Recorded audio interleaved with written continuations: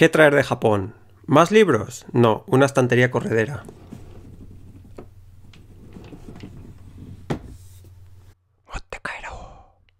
A ver, una estantería evidentemente no te la puedes traer en la maleta, pero bueno, luego explicaré lo que hice yo para traerme la estantería. Eh, pero el caso es que este tipo de estantería es bastante común en Japón y es muy práctica. Entonces, eh, desde que la vi en casa de un amigo, estaba obsesionado con ella. Yo quería que iría a la estantería, tal. Entonces, em, estuve investigando, pues, a ver por Europa para ver si se podía conseguir.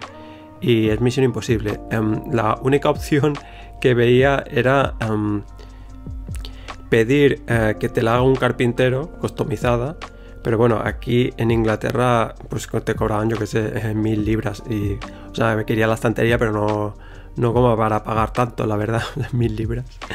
Y escribí a Ikea a ver si Ikea sacaba este tipo de muebles o qué y no sé, igual aquí no lo venden y tal.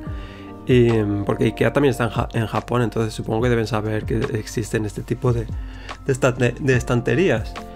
Y pues Ikea eh, me contestó y me dijo, ah, qué, interesante, qué interesante, eh, darnos más datos, no sé qué, tal, y me pidieron un montón de información y me dijeron que lo iban a considerar, pero han pasado de eso ya en, no sé, seis años y que yo sepa no, no han sacado este tipo de estantería. Que yo creo que, a ver, si unas manitas, yo creo que igual te lo puedes hacer tú mismo, porque em, aquí pones un riel, ¿no? Y pones unas ruedecillas y supongo que puedes mover esto. Em, no sé, supongo que eh, IKEA debe saber del mercado y a lo mejor en Europa no, este tipo de estanterías no triunfan porque los libros aquí son muy regulares y suelen haber libros muy grandes y tal, ¿no? Este, tipo, ¿no? Eh, este, este libraco que es. Entonces, eh, supongo que ese es uno de los motivos. Em, el tamaño de estos estantes, pues está pensado para los manga y novelas japonesas y tal. Entonces, claro, no, no son muy profundas. Eh, pero para este tipo de novelas, pues está bien. Eh, y claro, como yo tengo libros japoneses. Y luego los mangas, la, cosa es que en España los mangas se editan al mismo formato que en Japón. Eh, la mayoría de, publicaciones que se publican ahora en formato tan copón de este, yo creo que son del mismo tamaño. Entonces, si eres un otaku español, yo creo que esto te puede interesar, ¿no? Em, y luego los, los videojuegos también que, son de este, justo de este, esta profundidad. Entonces, si tienes muchos juegos o mangas y tal, pues yo creo que está muy bien, ¿no? Porque em, puedes tener ahí doble profundidad Pero a la que tengas libros un poco más grandes, como eh, estos de aquí, bueno, más grandes no, o sea, más profundos, pues ya no, pues esto no pasa, ¿no? Entonces, si, si lo quiero abrir del todo, tengo que sacar estos libros y entonces ya lo puedo deslizar. Pero bueno, eh, podéis ver que tengo ahí escondidas los Blu-rays de Lost. Creo que son los únicos Blu-rays que tengo. Y nada, que voy a explicar un poco la odisea, ¿no? Para traerte la estantería. A ver, lo primero es comprar la estantería. Las estanterías estas se venden en, sitios como Nitori, que es una especie de Ikea japonés. Y entonces podéis encontrar ahí esas, estanterías. A veces en el mismo Don Quijote, el sitio este que venden de todo, también hay. Pero no es que las venda Don Quijote. Normalmente es que hay una sección en el Don Quijote de Nitori o algo así que venden muebles.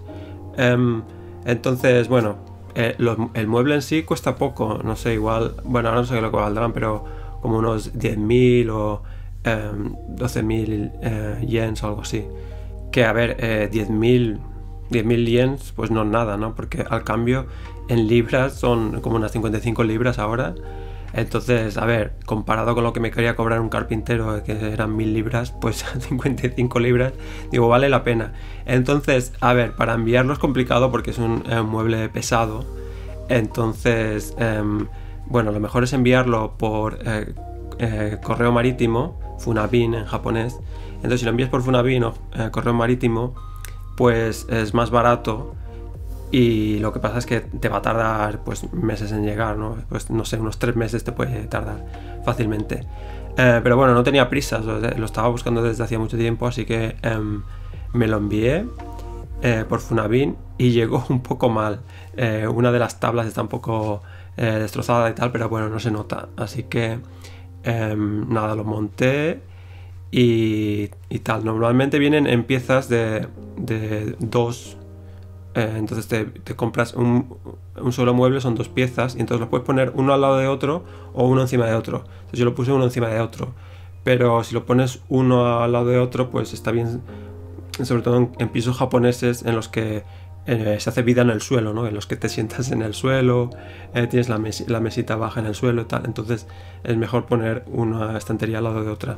Pero pues, si es vida en plano occidental, pues pon uno encima de otro. Luego viene lo típico para fijar por detrás, a la pared y todo eso, pues hay un terremoto, que bueno, aquí no hay terremotos, así que tampoco es muy preocupante. Y, nada, eso que eh, enviarlo por Funabin, pues a lo mejor te, cuesta igual que el mueble, ¿no? Que son 10.000 eh, 10 eh, yens o algo así. Pero, a ver, o sea, te cuesta el doble de lo que te ha, gastado, pero aún así siguen siendo como 100, 100 libras o algo así, que son 10 veces menos que, la, que las 1000 libras del carpintero.